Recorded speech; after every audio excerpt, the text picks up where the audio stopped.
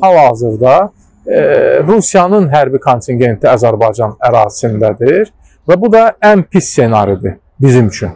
Ən pis ssenaridir. Yəni bu baxımdan hesab edirəm ki, Brüssel formatında gedən danışıqların bir alternativi yoxdur. Yəni müharibə heç bir halda alternativ ola bilməz. Müharibəni qızışdıran və arxasında duran ruslardır. Çünki hazırda müharibə yalnız Rusiyaya sərf edir. Bu sözləri Kanal 13 müsahibəsi zamanı siyasətçi Azər Qasımlı söyləyib. Rusiya Paşinyanı devirmək istəyir. Onların məqsədi Ermənistana tamamilə onların istəklərini həyata keçirən birini gətirməkdir deyə o əlavə edib. Ermənistanın baş naziri Paşinyan da Azərbaycanın ərazi bütövlüyünü tanıdığını bəyan edib və bunun yanında da Qarabağın Azərbaycanın tərkib hissəsi olduğunu da qəbul edibdir.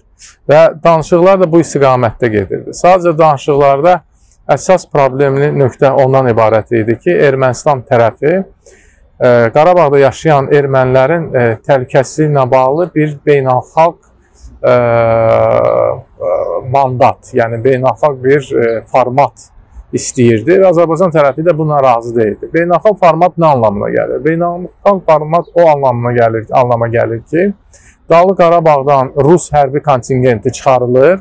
Onun yerinə isə ya BMT-nin, ya ATƏT-in, ya Avropa Birliyinin mandatı altında sülh məramlı kontingent yerləşdirilir.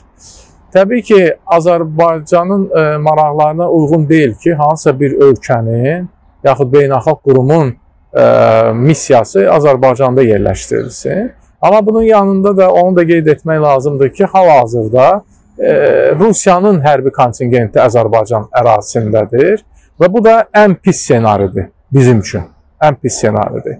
Yəni bu baxımdan hesab edirəm ki, Brüssel formatında gedən danışıqların bir alternativi yoxdur.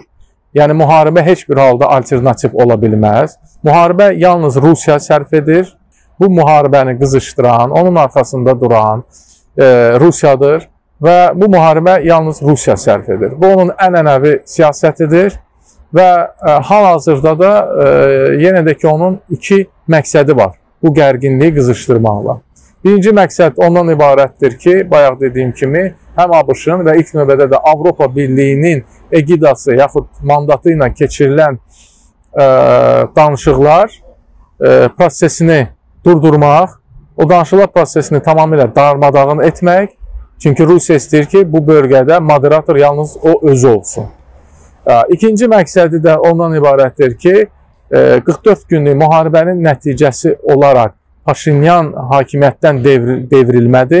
Halbuki Rusiyanın məqsədlərindən birisi də məhz bu idi və bu 3 üç, il ərzində də Ermənistanda vəziyyəti nə qədər gərginləşdirsə də, Ermənistan-Azərbaycan arasında münasibətləri nə qədər gərginləşdirsə də bu mümkün olmadı.